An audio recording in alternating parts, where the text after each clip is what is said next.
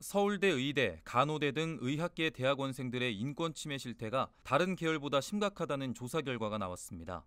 서울대 인권센터와 사회발전연구소는 작년 11월 22일부터 12월 21일까지 한 달간 서울대 대학원 재학생 1,715명을 조사한 결과 이같이 나타났다고 오늘 밝혔습니다.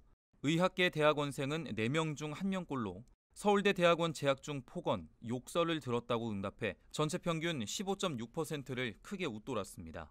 기합, 구타를 비롯해 신체 폭력을 당한 비율은 의학계가 7.4%로 가장 높아 전체 평균 2.5%의 3배에 달했습니다.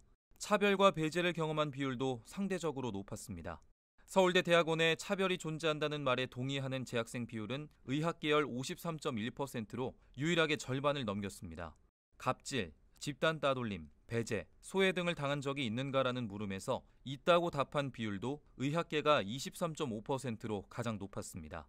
연구소에 따르면 의학계의 경우 연구실의 폐쇄적 분위기와 수직적 위계 질서에 대한 개선 요구가 많았다고 전했습니다.